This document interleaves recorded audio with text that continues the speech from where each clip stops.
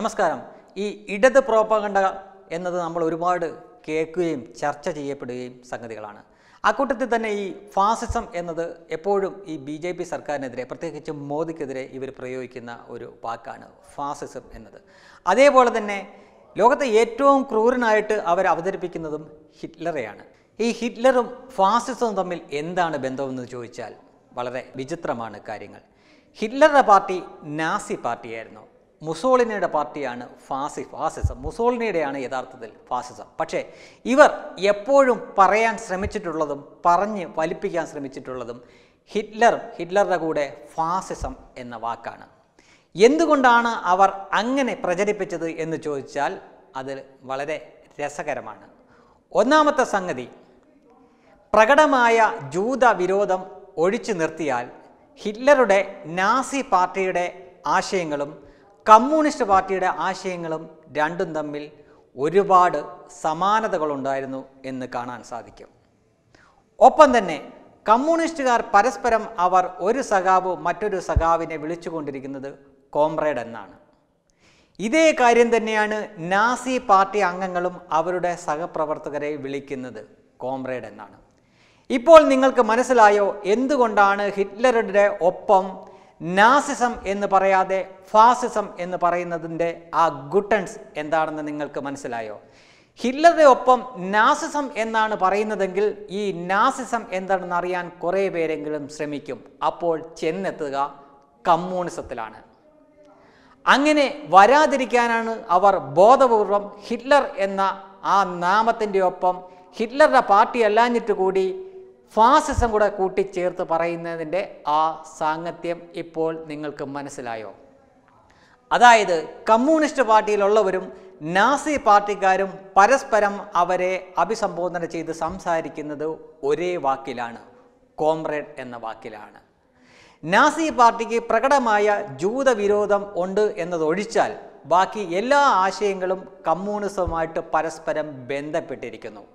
അപ്പോൾ ഹിറ്റ്ലറുടെ കൂടെ നാസിസം എന്ന് പറഞ്ഞ് നാസിസം എന്നാണ് പറയുന്നതെങ്കിൽ ഓട്ടോമാറ്റിക്കലായി അത് കമ്മ്യൂണിസമായി ബന്ധപ്പെട്ട് പോവും. അങ്ങനെ വന്നാൽ അവർ പ്രതിരോധത്തിലാവും.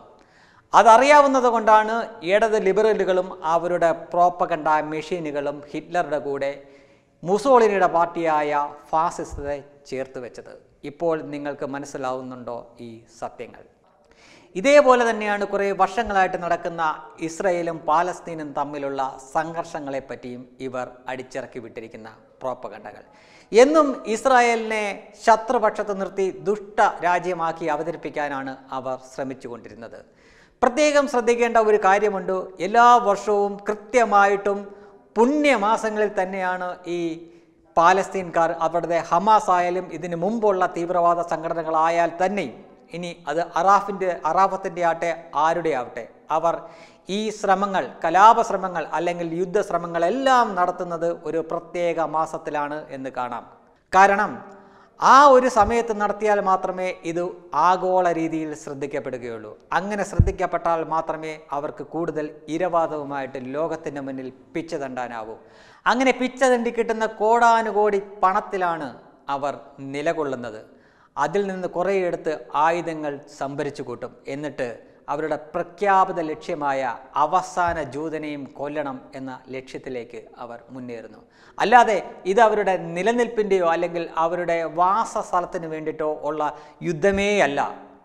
അവർ കേട്ട് പഠിച്ചതും അവരെ പഠിപ്പിച്ചതുമായിട്ടുള്ള ചില കാര്യങ്ങളുണ്ട്. അവരുടെ വിശുദ്ധ ഗ്രന്ഥങ്ങളിൽ എഴുതി വച്ചിരിക്കുന്ന ചില കാര്യങ്ങളുണ്ട്. അവസാന ജൂതൻ വരെ ഈ ഭൂമിയിൽ നിന്ന് ഇല്ലാതാവുന്ന കാലത്ത് മാത്രമേ ഇത് ദൈവത്തിന്റെ ലോകം അല്ലെങ്കിൽ ദൈവത്തിന്റെ രാജ്യമായി മാറുകയുള്ളൂ. എങ്കിൽ മാത്രമേ ആ അന്ത്യകാലം വരൂ സ്വർഗം കിട്ടൂ എന്നൊക്കെ പഠിച്ചു വച്ചിരിക്കുന്നതിന്റെ ഒരു കുഴപ്പമാണത്. അല്ലാതെ അവർക്ക് ജീവിക്കാൻ അവിടെ ബുദ്ധിമുട്ടായതുകൊണ്ടോ ജീവിക്കാൻ സ്ഥലമില്ലാത്തത് കൊണ്ടോ ഒന്നുമല്ല ഈ ഓരോ യുദ്ധങ്ങളും അവർ ചെയ്യുന്നത് എന്ന് മനസ്സിലാക്കുക.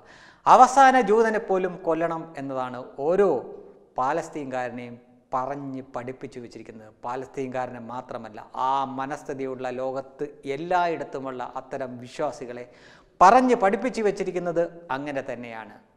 നോക്കുക ഇരുപത് ശതമാനത്തിന് മുകളിൽ അറബ് വംശജർ ഇസ്രായേലിൽ സമാധാനത്തോടെ ജീവിക്കുന്നുണ്ടോ? ഇസ്രായേലികൾക്ക് അറബികളെ അത്ര അറപ്പും വെറുപ്പും പകയും പകയുമാണെങ്കിൽ അവരുടെ രാജ്യത്ത് ഈ ഇരുപത് ശതമാനത്തിന് ജീവിക്കാൻ അവർ സമ്മതിക്കുമായിരുന്നു. അപ്പോൾ പ്രശ്നം അതൊന്നുമല്ല. ഈ ഇരവാദവും അതുവഴി തട്ടാവുന്ന കോടാനുകോടി രൂപയുടെ ഫണ്ടും ചിലർക്ക് സുഖിച്ച് ജീവിക്കാനുള്ള മാർഗവും മാത്രമാണ് നിരപരാധികളെയും കുട്ടികളെയും മുൻനിർത്തിക്കൊണ്ട് ഈ വർഷാവർഷം നടത്തുന്ന നാടകം. തീർച്ചയായിട്ടും ഓരോ ഇടത് ലിബറൽ പ്രോപ്പകണ്ടകളും അതാത് സമയത്ത് പൊളിഞ്ഞ് അടുങ്ങുക തന്നെ ചെയ്യും. ഇത്തവണ എന്തുകൊണ്ടാണ് ഈ പാലസ്തീന് അത്രമാത്രം പിന്തുണയൊന്നും ലോകത്തുനിന്ന് തന്നെ കിട്ടാത്തത്? ഒരു ചൊല്ലുണ്ട് ഇപ്പോൾ സോഷ്യൽ മീഡിയ നടക്കുന്നതാണ്. ഇന്ത്യ ഇസ്രായേലിനൊപ്പവും കേരളം പാലസ്തീനൊപ്പവുമെന്ന്. എന്തുകൊണ്ട് ഇങ്ങനെയൊരു ഇങ്ങനെ ഈ രീതിയിൽ ആളുകൾക്ക് ചിന്തിക്കാൻ പറ്റുന്നു എന്ന് ഒന്ന് ആലോചിച്ച് നോക്കുക. ആളുകൾ സത്യം കൂടുതൽ കൂടുതൽ മനസ്സിലാക്കി വരുന്നു. മുമ്പത്തെ പോലെ ഇരവാദങ്ങളൊന്നും ഇനി ചെലവാവില്ല എന്ന് ഇത്തരക്കാർ മനസ്സിലാക്കിയാൽ നല്ലത് വെബ് ഡെസ്ക് തത്വമൈ ന്യൂസ്